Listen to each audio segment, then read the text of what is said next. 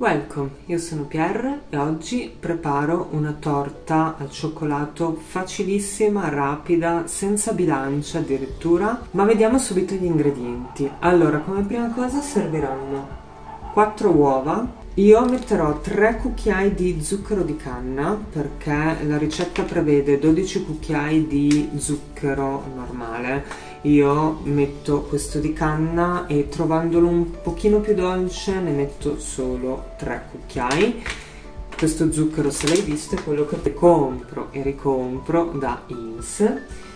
Poi 4 cucchiai di olio di semi girasole 12 cucchiai di latte 12 cucchiai di farina che io dividerò ne metterò 8 8 di eh, farina integrale e 4 di farina 00 perché mi piace farla un po' integrale. Poi 4 cucchiai di cacao amaro in polvere che è un mio compro e ricompro da Lidl. Una bustina di lievito per dolci e metterò anche un goccino di rum. Però ehm, il rum diciamo che è di nuovo una mia variante nel senso che la ricetta prevede o della vaniglia o della vanillina o altrimenti anche della scorza di arancia. Io eh, volendo del limone ma vado giù di rum preferisco tanto sono grande. Farò solo proprio la torta basica perché mm, mi piace, l'ho già provata e riprovata e mi piace mangiata così, altrimenti ehm, diventando tipo pan di spagna, la ricetta prevede anche una glassa che la ricopra fatta con 200 ml di panna e 200 g di cioccolato fondente basta farli sciogliere nel microonde insieme ed è già pronta. È una ganache che anche, anche a me capita di utilizzare spesso. Come prima cosa bisogna accendere il forno in modo che si preriscaldi. Il forno ovviamente è un classico 180 gradi e poi serve una teglia io prendo queste qua a cerniera perché sono un po' più pratiche. Anche questa qua l'avevo comprata secoli fa difatti si vede poverina che è un po' tutta rovinata.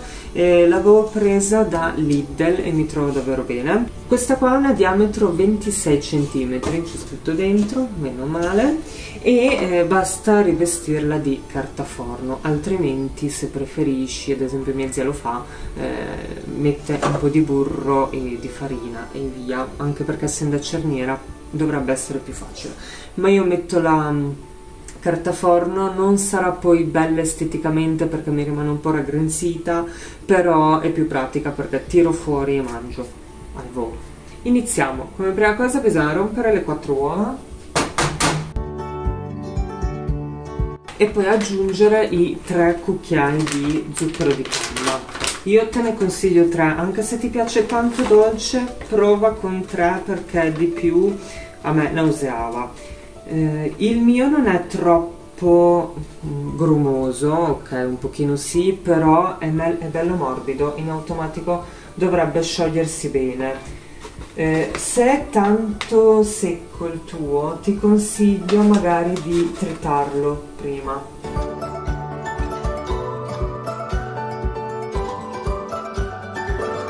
Non diventerà esattamente come il classico, non so se si vede che è comunque un pochino spumoso, però il colore ricorda già un po' di più quello del tipo caffè latte, mettiamola così.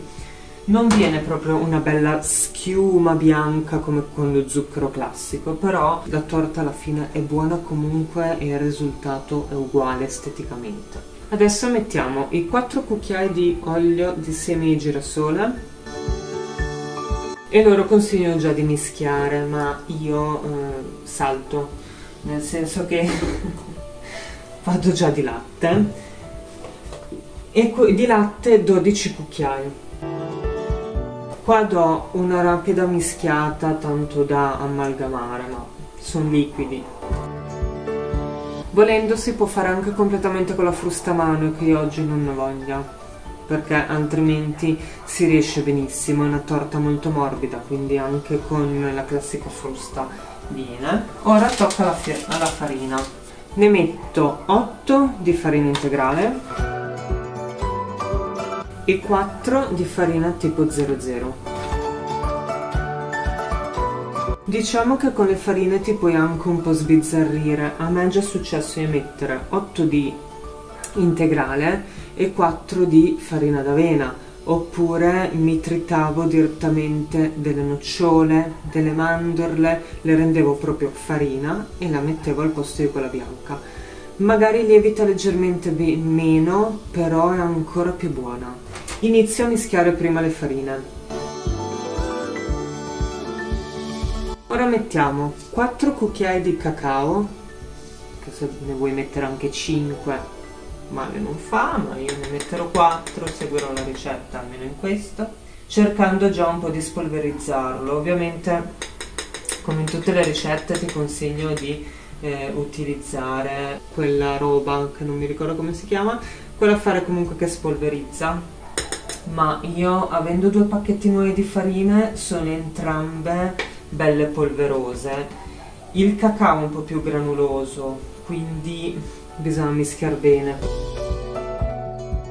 Io di solito arrivato a questo punto prima di mettere il lievito e il rum metto la carta forno nella teglia perché di solito si fa prima ma io mi dimentico. Ci sono i vari metodi di piegatura del foglio perché aderisca bene non formi tutte le grinze ma ehm, il mio metodo è solo questo di prendere bene più o meno la misura strappare inumidire leggermente eliminare l'eccesso d'acqua.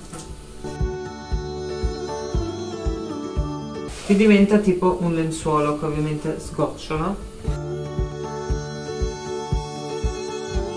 Io a sto punto per farla ehm, asciugare un pochino la metto già in forno la teglia, aggiungo quello che devo aggiungere nella torta e poi la ritiro fuori e ci metto il composto dentro. Adesso aggiungo un cucchiaino da caffè, mettiamo così, di rum, non ne metto tantissimo.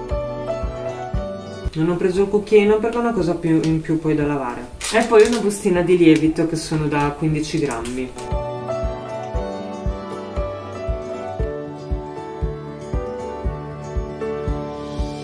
L'odore è già buono, adesso cerco di farti vedere. Intanto qua abbiamo una partecipazione di Kate.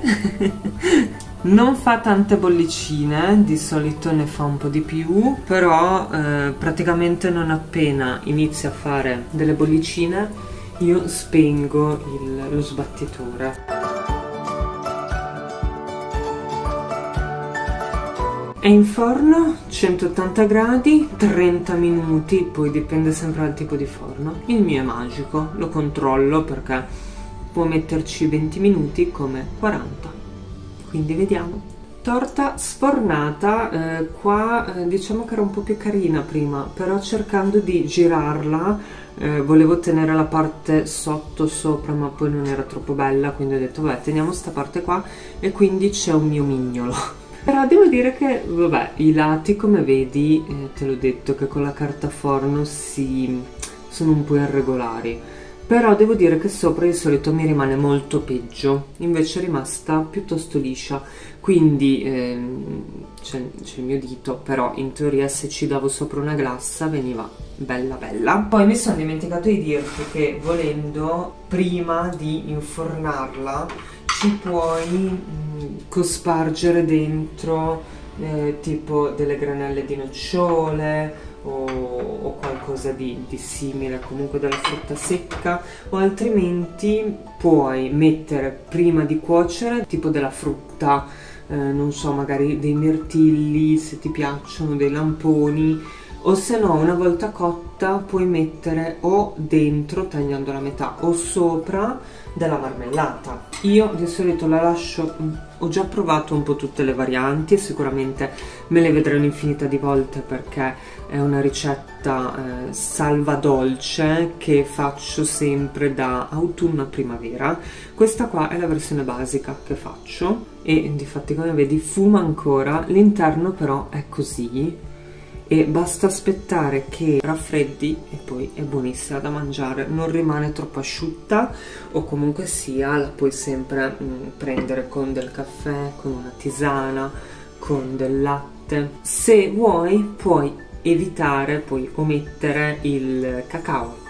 Metti, la lasci bianca, ti viene una torta basica bianca e puoi decidere poi te se metterci sempre della frutta, della frutta secca, della marmellata o una crema spalmabile alla nocciola, quello che preferisci.